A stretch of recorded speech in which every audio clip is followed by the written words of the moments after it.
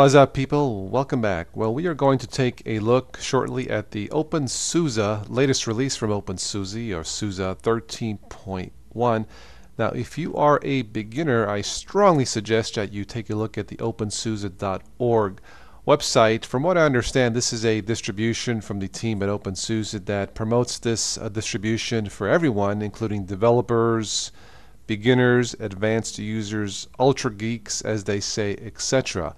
I'm not sure if this is uh, one I would pick as my top choice for beginners. It's not that difficult to learn, but this is a loaded distribution, distribution meaning that this is not a lightweight uh, distribution. That's not necessarily good or bad.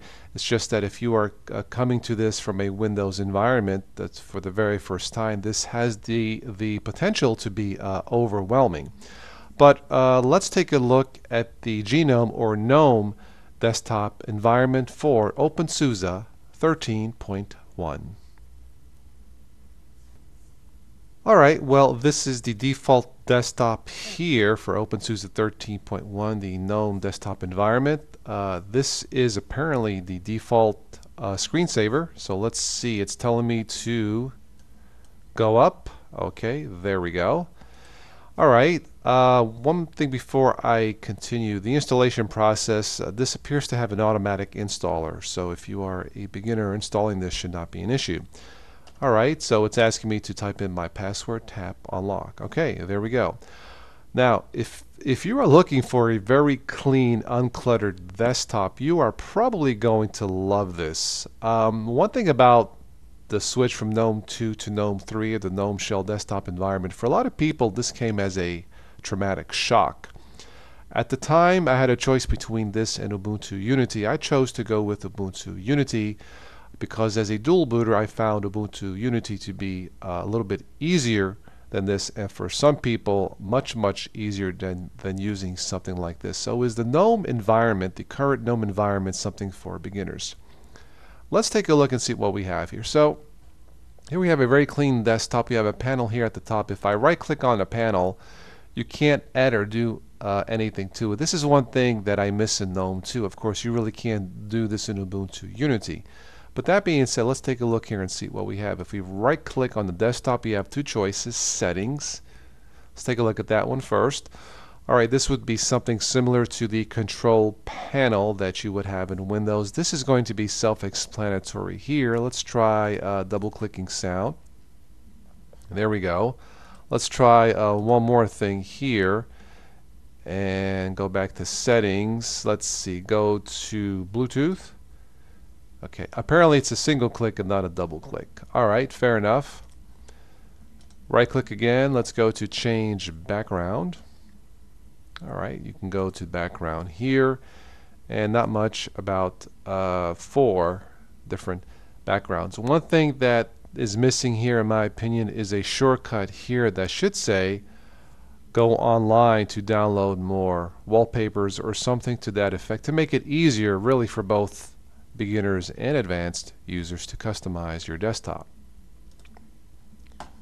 Alright, let's go to the top right Looks like we have three shortcuts here. Let's go to the arrow. Alright, we have a soundbar. Looks like my username. Click that. Alright, log out. And three choices here. Alright, cancel or restart power off. Go back to the arrow here. This is apparently lock the screen. Okay, so I'm going to click and hold and drag this up. Alright, easy enough. Unlock. Okay, let's go to power and we have the same thing. Okay. Um, hmm. All right, let's go to here. All right, settings, a nice little shortcut. Let's get out of Let's go to the third icon, which is the sound. Now this has apparently the same uh, drop down shortcut. I don't understand this. Uh, why should all three be the same? You would. This seems like a waste of space, but that's just just my personal opinion. It's certainly user friendly. I was expecting something different. But that being said, let's move on. Okay, the clock is in 24-hour format. Left click. Uh, date and time settings. Hopefully this should be easy to change the format. Okay. Yes, it is AM PM. And let's see. Dialog is locked, unlocked. Okay. Password. Automatic time and date requires internet access. Automatic time zone. Yeah, why don't we just keep those on? Okay. All right, so again, as I said, a very clean desktop. Let's go to activities. We left click that. Now, this is something where when I first saw this, it looks really kind of slick, but it's it just never seems quite finished. You have some shortcuts here, such as Firefox, and of course, you can use this in Windows if you want to. Okay, let's go to Rhythmbox while that is loading. And we'll see how long this takes. All right, there's Rhythmbox. Go back to activities. Now, of course, you can drag these to these workspaces here. For example, if I go back to Firefox, see if that loads. It's running a little bit slow, it appears. All right, well, these are your different workspaces here.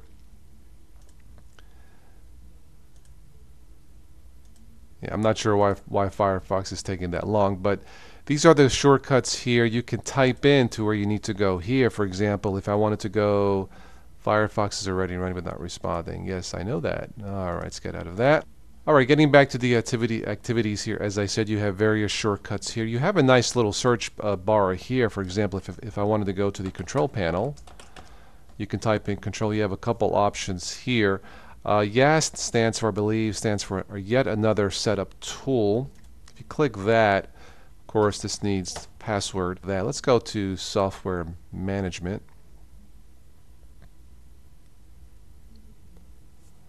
All right, this is where you can uh, download software, delete software, uh, change your settings. Uh, it appears here, all right, you have your find search bar here install seven pre-selected packages. Now this is highlighted here, so I'm assuming this is important. Let's click that. All right, you if you install this, you will need to install this so you can play your Flash or YouTube, your music and video. I won't do it now for the purpose of this demonstration, but this is where you can search for uh, specific pieces of software. Now this, I don't think this will have everything. If you are using Ubuntu, this may not have all the packages as you would have in, in Ubuntu. Some things should be the same. For example, if I type in Banshee Media Player, it's here.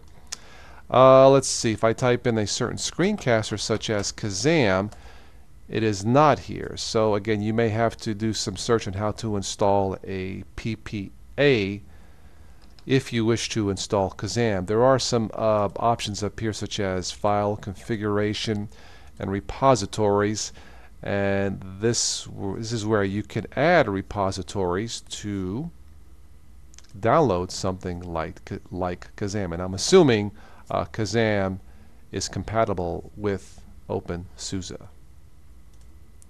Alright now the one thing I don't like about this is it doesn't have a filter by categories. For example, if I click activities and go to here way at the bottom, this is going to bring all the applications, okay? Now, now this is fine. You can, you know, scroll up and down, but it should have a filter setting here by category. For example, applications by internet category, sound and video, and you know stuff like that. It doesn't have it. So as it's down, as it stands right now, this particular desktop distribution of OpenSUSE, I can't really recommend this for beginners. It wouldn't be that difficult to figure out, but this would not be my first choice. Uh, as far as having a clean desktop, it certainly is clean. And the one thing that's kind of bizarre, having what appears to be three shortcuts here, but each doing the same thing, seems like a waste of space, in my opinion. Well, that's it. This is my look at the uh, GNOME desktop version of, of OpenSUSE 13.1. Next up, I think I'll take a look at the KDE version of this, and that's probably going to be a little bit more beginner-friendly, Windows-ish, Windows-ish friendly if you are coming from a Windows machine. All right, well, that's it for this, for my take on OpenSUSE 13.1, the GNOME Desktop Edition. Thank you so much for watching and listening. And as always, I will catch all of you sometime in the future.